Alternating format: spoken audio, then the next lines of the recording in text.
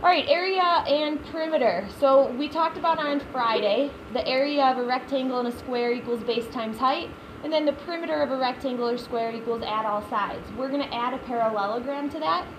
And a parallelogram, if you want to put this in your notes, you can. So instead of writing them out, oh, that's a bad drawing, but you get the idea. A parallelogram looks like this down here. The definition of a parallelogram is that it has two sets of parallel sides. Okay? And parallel, something we'll talk about soon, is like railroad tracks. So if you put your arms like this, that means they'll never touch each other for as long as they go in both directions. Okay? So this side right here, the one that has the one dash, and this one down here, those sides are parallel. So if they went forever in both directions, this way, to the right, and to the left, they'll never intersect. They'll never cross each other. Okay, that's parallel. So that's the first set of parallel sides. The other one is over here. If this side and this side went together or went forever in both directions, they'll never touch.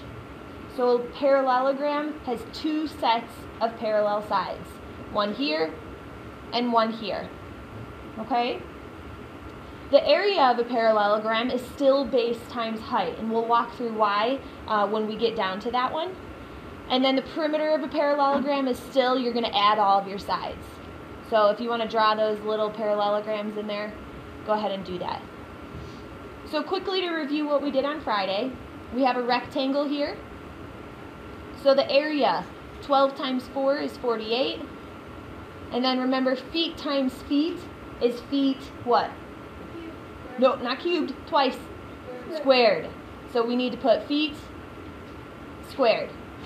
And then our perimeter, we need to add all sides. And we talked about also on Friday that these dashes mean that this bottom, uh, our base here, is congruent to this top one. And then our sides, since they have two dashes, those are also congruent to each other, which means they're exactly the same length. So if this is 12 feet, then this is 12 feet. And if this side is 4 feet, then this side is 4 feet. So we need to go through and add those together. So I have 12 plus 12 is 24. And then 4 plus 4 is 8. So we can add both of those together to get 32 feet. And this one is not squared, it's just feet. Think about walking. If you were to start in this corner down here and walk 12 feet and then 4 feet and then 12 feet and then 4 feet, okay, you're not walking feet squared, you're just walking 32 feet. Okay? And also on Friday we talked about this little word rim inside perimeter and I drew a beautiful basketball hoop for you guys. Right? You guys remember this? It was beautiful, right?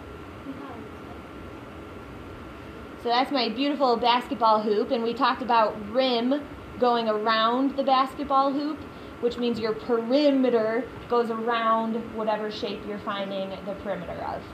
Okay, so that's a good way to remember it. If you could remember rim in basketball, uh, that it goes around the hoop, then you can remember perimeter always goes around. Okay? Down here, we have five inches, but I have one dash on every single one of these sides, which we talked about since all those dashes are the same. They're all congruent, which means all of these are five inches. So our area, base times height, so 5 times 5 is 25 and then inches times inches is inches squared. And then our perimeter, we add all of our sides, so 5 plus 5 plus 5 plus 5 is 20 inches. Questions so far? That's kind of a review of Friday. The next one, go ahead and draw this in. So here's our parallelogram. We're going to follow the same formula. So for area, it's still base times height. And for perimeter, it's still add all of the sides. It's just a little bit different. So on this parallelogram, I have three measurements. You need to know the difference between all three of them. Okay? In a parallelogram, you're always going to see a dotted line. In this case, my dotted line's right here. Sometimes you might see it on this side, Sometimes you'll see it on the outside or the outside over here. The dotted line is your height. Okay?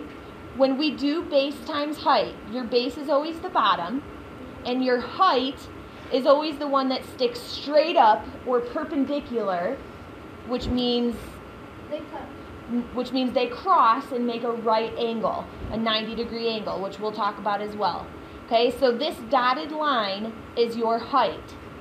Now they're not dotted in your rectangles and your squares because it just happens to be your height is also one of your sides. In a parallelogram, that's not the case. Okay, the side is over here and over here, but your height is kind of inside it. Okay, so you're going from the top, the highest point possible on your parallelogram straight down. That's the height.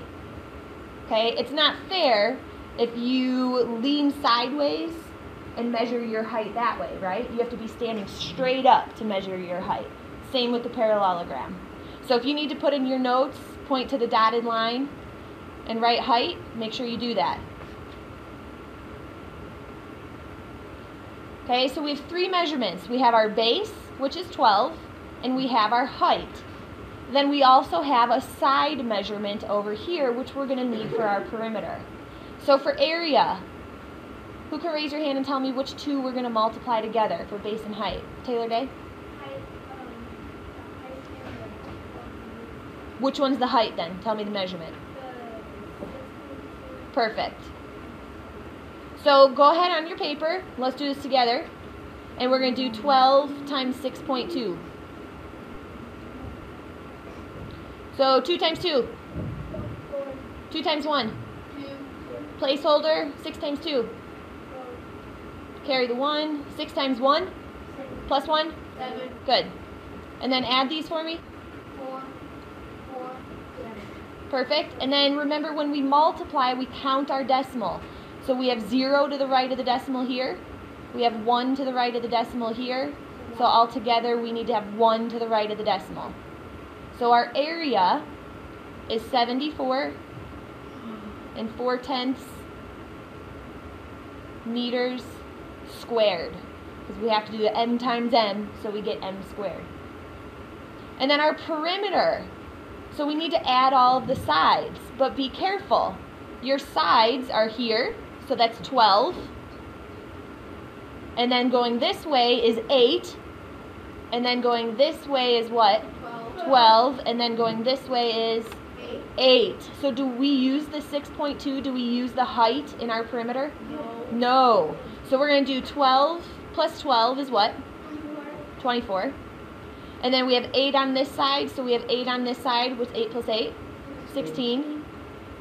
So if we add these together, we get 10, and then carry the 1, and we get 40 meters is our perimeter. Questions on the difference between the height and the side of your parallelogram? Perfect. Let's go ahead. And I'll have you guys work on this page on your own. So go ahead and draw um, these to the best of your ability in your notebooks and work on these, and then we'll go through them in about seven minutes.